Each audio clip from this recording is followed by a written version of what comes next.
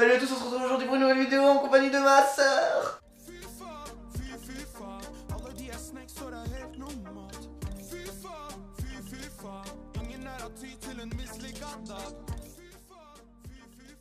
Ah, c'est pas vraiment ma sœur, mais en fait c'est une vénézuélienne que j'accueille pendant un an, comme j'avais fait avec un américain il y a deux ans de cela. Je vais vous, mettre un lien dans la description d'une organisation qui vous permet d'accueillir euh, des étrangers pendant un an. Aussi cette organisation vous fait partir 3 à un an comme vous voulez. Donc si vous êtes vraiment intéressé par le fait d'accueillir quelqu'un, de partir à l'étranger, m'envoie un message et euh, ce sera avec plaisir que je te donnerai plein d'informations dessus. J'espère qu'on comprend bien par contre quand j'ai parlé parce que j'ai parlé super vite. On se retrouve avec euh, Camila. Camila, euh, enchantée, tu viens du Venezuela? Oui, je suis Camila Mendoza, je viens du Venezuela, j'ai 17 ans, j'habite chez...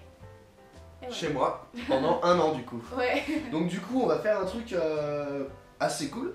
Euh, nous, on aime bien savoir ce que les étrangers ils pensent de notre, euh, de notre culture, de notre pays. D'accord. Donc du coup, je vais te poser quelques questions pour savoir ce que toi, tu penses de, de la France. Première question, on est parti. Quand tu es arrivé en France, en fait, tu es arrivé à Paris, et euh, quelles ont été tes premières impressions de la France quand tu es arrivé à, donc à Paris? Je sais que, attention, la France, ce n'est pas que Paris. Moi, je pense pas ça. Ouais, bah c'est bien. Bah, beaucoup d'étrangers croient que la France c'est Paris, mais c'est pas le cas. Hein. Ouais, donc du coup, qu'est-ce que quelles ont été tes premières impressions de, la France quoi? Bon, je connaissais déjà Paris, mais pas le, le, reste de la France. Ma première impression, c'était que la France est un grand pays.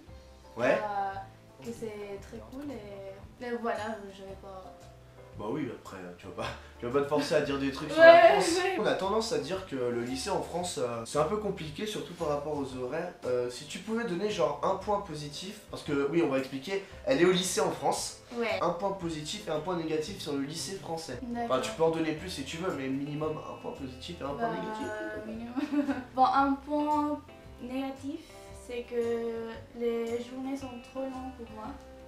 Euh, c'est de 8h30 jusqu'à 17h. Bah, et moi au Venezuela, je faisais pas ça, c'était que les, les, matinées. Ouais, les matinées, ouais. La matinée, ouais, ouais. Ouais, ouais, c'est, oui, c'est très bien. tu parles mieux français que moi, là, que moi, donc euh, ouais, c'est cool. donc euh, voilà, c'est, un peu fatigant. ça, c'est le point négatif. Et le point positif. Ouais, un point positif? Eh ben non, il y en a pas. Allez. J'ai toujours préféré aux voisins les voisines. Euh, prochaine question. Point positif, oui. Je te dis quoi? Que bah je trouve que bon au Venezuela les évaluations non nul ouais nul oui. ça. Et bah là euh, on est obligé on peut dire de faire des dissertations et tout ça et je pense que ça te force un petit peu plus à penser à réfléchir. Ouais. Et ouais bah c'est bien.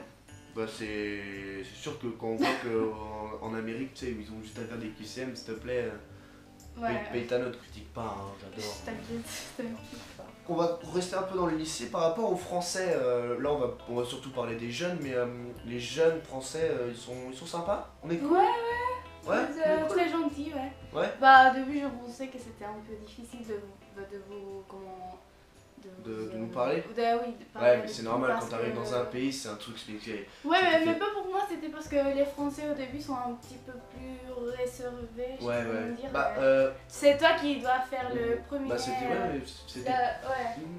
Mais après, euh, oh, vous êtes trop, trop cool. Ouais, ouais. Mais je veux dire, c'était pareil pour moi quand j'étais en Norvège, c'était à moi de faire le premier pas, tu vois. Ouais. Parce que quand t'arrives dans un pays comme ça, même la France, il faut, faut, toujours faire le premier pas. Ouais, mais après, bon, vous êtes très sympa, je suis trop contente.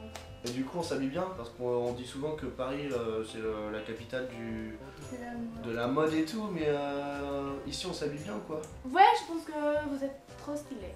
ah ouais. Merci pour les Français que tu trouves stylés du coup, hein, je, vais les représenter. euh, bah, on va quand même parler de la nourriture parce que tout le monde connaît la nourriture en France. Enfin en France oui, bah, partout dans le monde du coup c'est un peu con ce que je dis. Toi tu penses quoi de, de la nourriture française? Enfin t'as goûté par exemple les escargots T'as goûté les escargots ouais, C'est bon les escargots? c'était un peu bizarre.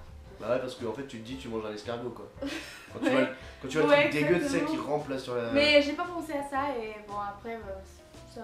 Oui, ça c'était. T'as un, plat préféré français? Bah, des, pâtes, ça va. Ouais, des frites, ouais. Non, c'est pas des sandwichs. Oh, tu lances un débat, hein. Débat dans, débat dans les commentaires. oui, les frites. Bah, après tout, je vais pas te dire non parce que moi aussi j'aime bien les frites. Hein. Moi, j'aime bien le saumon. Crème brûlée. le saumon, toi Crème brûlée? Oui, ouais, crème brûlée, c'est Ouais, mais ça n'a rien à voir avec la France.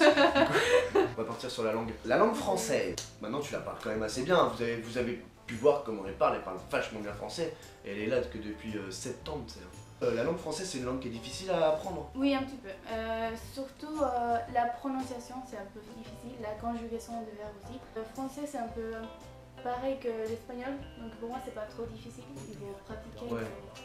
faut- De toute façon, moi je le dis, le meilleur moyen d'apprendre une langue, c'est de partir. Et de partir le plus longtemps possible. Tu arriveras à parler, certes, mais pas aussi bien que si tu partais un an à l'étranger. Ouais, c'est vrai. ça. Merci Camilla d'avoir euh, répondu à mes questions et euh, Bah, d'avoir euh, répondu aux questions euh, des De- personnes qui nous regardent. Un dernier mot pour la fin, si t'avais un endroit où aller en France, t'irais où? Le sud. Le sud? Ouais, le sud de la France. Ouais. Pour avoir un peu de soleil. Il pleut trop en Bretagne un peu, non? Euh, un, trop, un petit peu. Bah, un petit peu.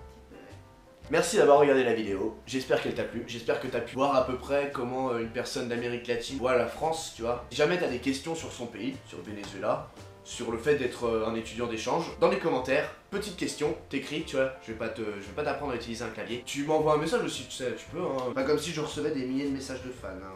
Peut-être un jour, on sait pas. En tout cas, profite de ta vie, fais ce que tu veux, t'en as qu'une, n'écoute pas les adultes, la vie est belle.